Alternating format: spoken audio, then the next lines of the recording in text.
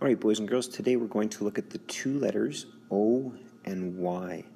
Now, an O is a ladybug letter, which means it goes from the interline down and stops at the bottom line. And the Y is a monkey letter, which means it begins at the interline and it hangs its tail down below to the next interline. Now, when you put the two letters O and Y together, they make the sound OI. Now, OI also says OI, but when you hear OY, it's usually at the end of a word much like boy. And here we go.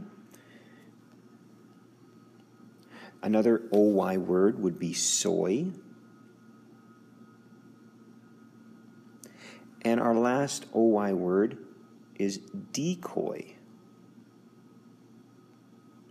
Now, decoy is when you um, put something out to trick someone else. So um, you might put a fake duck to make the other ducks think that it's a real duck. And the fake duck is called a decoy, it's to trick them.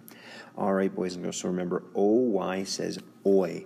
As you print your lines of letters and words, keep repeating the sound for the OY. So you would do a finger space and go OY says oi. The more you say it under the breath, the um, better you're going to remember it. All right, boys and girls, give me uh, a row of each. Thank you very much.